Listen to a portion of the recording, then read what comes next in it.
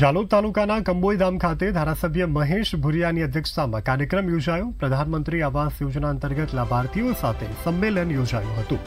મોટી સંખ્યામાં લાભાર્થીઓ ઉપસ્થિત રહ્યા હતા. ઉપસ્થિત તમામ લાભાર્થીઓએ આવાસ યોજનામાં ચેક આપવામાં આવ્યા છે. આ કાર્યક્રમમાં લાભાર્થીઓને વિવિધ સરકારી યોજનાઓ વિશે માહિતી આપવામાં આવી. જિલ્લા પંચાયત પ્રમુખ શીતલ વાઘેલા અને જિલ્લા સાંસદ જસવંતસિંહ ભાભુ તેમજ પૂર્વ બાંધકામ સમિતિના ચેરમેન લલિત ભુરિયા સહિત ગામના આગેવાનો ઉપસ્થિત રહ્યા હતા.